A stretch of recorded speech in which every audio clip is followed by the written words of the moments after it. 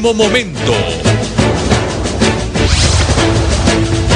De último momento, mire, le informamos esta lamentable noticia. A un motociclista se le ha enredado, se le enredó un pedazo de neumático en la llanta de atrás y lastimosamente esta persona ha muerto en el kilómetro 11 de la carretera Adam Lee, la carretera panamericana. Es lamentable que esto haya ocurrido. En plena luz del día, este hondureño pues se le enredó un pedazo de neumático según lo que nos han hecho saber gente cercanas en la zona, que nos han hecho llegar también nuestros corresponsales estas fotografías. Mire, es lamentable, la moto ha quedado ahí en plena carretera, el cuerpo a un lado de este joven a quien lamentablemente pues el hecho que le ha ocurrido en su llanta de atrás en su motocicleta ha provocado que él pierda el control de la misma y ha muerto este día. Vamos a estar ampliándoles esta información para decirles de quién se trata.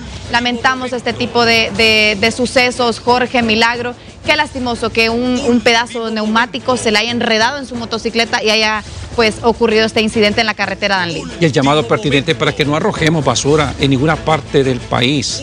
En la carretera, imagínese eso, como usted precisamente apuntaba, ha provocado la muerte de este catracho que definitivamente no merecía morir de esa manera. También le transmitimos esta información que pesada volqueta con número de placa AP 1159.